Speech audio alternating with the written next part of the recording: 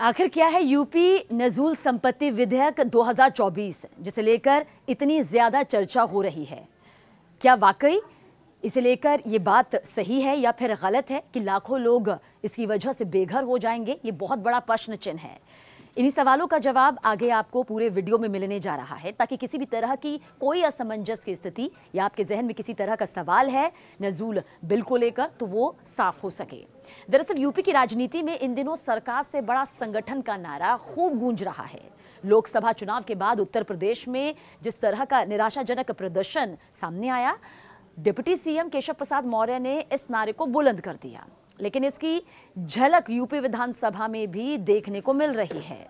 दरअसल मानसून सत्र चल रहा है और मानसून सत्र के दौरान जब योगी सरकार ने यूपी नजूल संपत्ति विधेयक 2024 विधानसभा में पेश किया तो विधेयक को लेकर विपक्ष ने विरोध दर्ज कर दिया। साथ ही बीजेपी विधायकों ने भी विरोध में अपने सुर बुलंद कर दिए। बीजेपी विधायक सिद्धार्थनाथ सिंह और हर्षवर्धन वाजपेयी से लेकर जन जनसत्ता दल के राजा भैया ने भी विरोध यहाँ पर सीधे सीधे इस पर दिखा दिया। और इतना ही नहीं, बीजेपी की सहयोगी और केंद्रीय मंत्री अनुप्रिया पटेल ने भी विधेयक को गैर ज़रूरी बताते हुए इसे वापस लेने की बात भी कर दी। विपक्ष के कई नेताओं का दरअसल कहना है कि इस बिल के ज़रिए लाखों लोग बेघर हो जाएँगे। लाखों लोगों को इसका प्रहार यहाँ पर झेलना पड़ेगा। लेकिन क्या वाकई ऐसा है? जो कहा जा रहा है, ये सिर्फ़ एक सियासत का हिस्सा है? या फिर यही इसकी हकीकत है? ये भी मालूम चलेगा। हालाँकि विरोध के बीच यूपी नजूल संपत्ति विधेयक विधानसभा में पास तो हो गया, लेकिन विधान परिषद में बीजेपी, एमएलसी और बीजेपी प्रदेश अध्यक्ष भूपेंद्र चौधरी ने इसे लटका दिया। जैसे ही विधान परिषद में डेप्यूटी सीएम केशव प्रसाद मौर्य ने विधेयक को पेश किया, बीजेपी, एमएलसी भूपेंद्र चौधरी ने इसे प्रवर समिति को भेजने की मांग कर दी। जिसके बाद सभापति ने इसे प्रवर समिति को भेज दिया।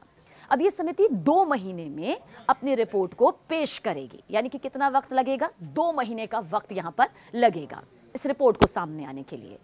लेकिन इस पूरी तस्वीर के बाद यूपी के सियासी गलियारे में अब इस बात की चर्चा ज़ोर शोर से हो रही है कि संगठन के सामने योगी सरकार को बैकफुट पर आना पड़ा।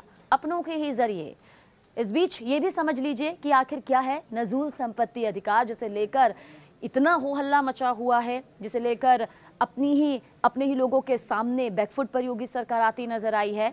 दरअसल योगी सरकार ने नजूल संपत्ति विधेयक में प्रावधान किया है कि अगर किसी ने नजूल की संपत्ति का पट्टा पर लिया है या उसे पट्टे के किराए का नियमित रूप से भुगतान किया है, या फिर समझिए कि साथ ही किसी भी तरह के अनुबंध का उल्लंघन नहीं हुआ है तो उसका नवीनीकरण स्वतः हो जाएगा, यानी अपने आप।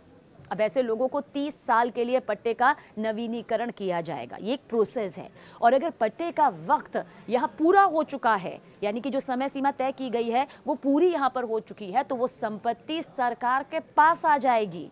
वही अगर पट्टा अवधि के खत्म होने के बाद नजूल संपत्ति का इस्तेमाल हो रहा है तो पट्टे का किराया का निर्धारण डीएम के ज़रिए किया जाएगा। बस इसी बात को लेकर विपक्ष और सत्ता पक्ष के विधायकों का विरोध सामने आ गया।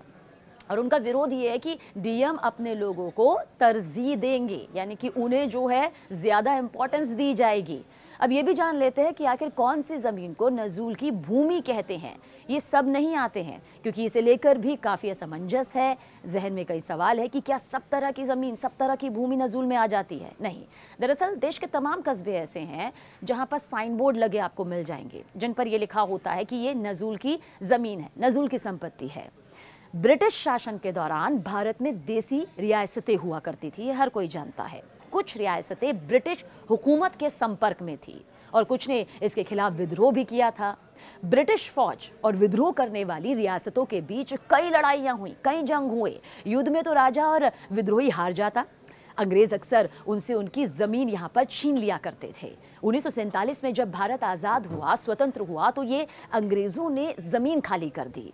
लेकिन उस वक्त राजाओं और राजघरानों के पास इन ज़मीनों पर अपना पूर्व स्वामित्व साबित करने के लिए जो दस्तावेज़ होने चाहिए थे कि ये हमसे ही, ली गई ज़मीन है, वो उनके पास मौजूद नहीं थे, क्योंकि वो तो अंग्रेज़ी शासनकाल में उनसे छीन लिए गए थे।